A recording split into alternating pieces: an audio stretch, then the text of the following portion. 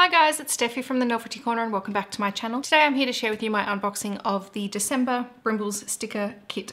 And this is, I believe, the Snow Globes kit, which is just stunning. So as always, we get the little thank you card and it has another little illustration that you can cut out as a journaling card and that is super cute. I'll be saving that for winter time. Yes, so this is the Snow Globes kit. So you have your functional stickers sheet. I love the gorgeous pastel colors in this one. You have your decorative boxes as well as your functional boxes on here as well. You have the really lovely washi strips with Anna's illustrations and some colors on them.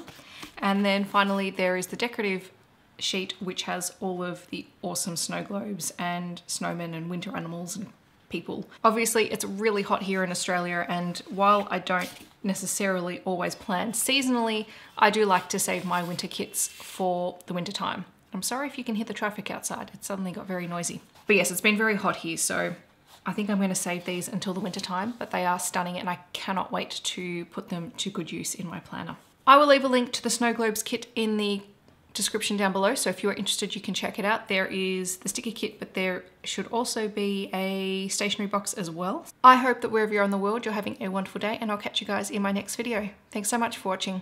Bye guys.